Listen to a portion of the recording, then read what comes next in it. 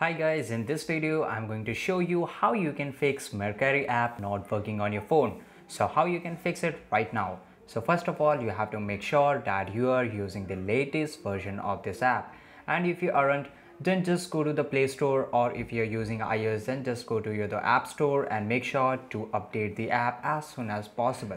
This may fix your problem but if it doesn't then you have to do one thing you have to click and hold you have to go to the app info you can go from the settings too and here you have to click the first option that is storage usage.